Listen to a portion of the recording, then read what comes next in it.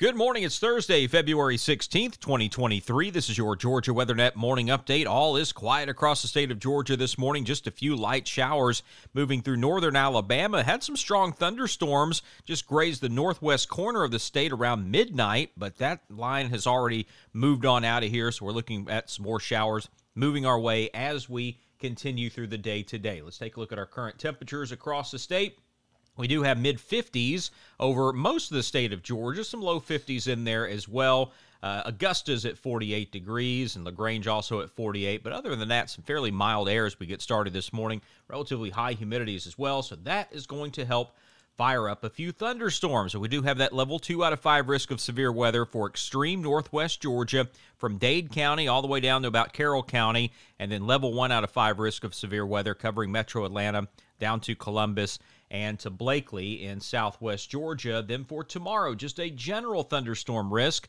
This covers all of South Georgia, most of Middle Georgia. So that go, uh, shows you that this line is going to uh, fizzle out a great deal as it continues to the state overnight tonight. So just keep in mind that severe weather outlook for today actually takes us till 7 o'clock tomorrow morning. So this is going to be a late night and early Friday morning event, and then that line will fizzle as uh, we continue through the day tomorrow. So, what we'll do, we'll stay right here and we'll take a look at the modeling starting at 8 o'clock this morning. This is our uh, high res rapid refresh model. This is a good one to look at as far as determining our thunderstorm timing. So we'll just continue through the day today. Light showers over North Georgia in the early morning hours. Now we're getting into the afternoon hours around 2:45 or so this afternoon. A little bit more shower activity in North Georgia.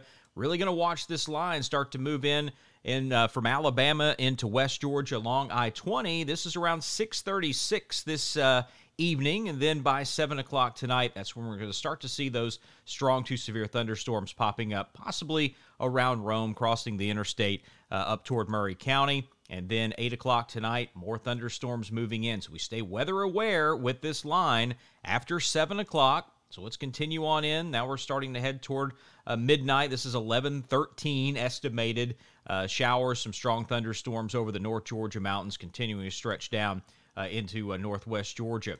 And then let's continue through the overnight hours. This is 1:30 in the morning.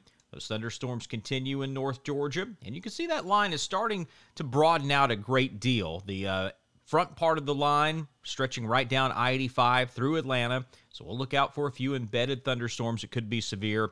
And then that secondary line still bringing a lot of rain in northwest Georgia. So flooding could be a concern. As you can see, it's going to be raining for hours in some spots in northwest Georgia and up toward the mountains. So we're going to watch out for that. So we head toward 450 in the morning.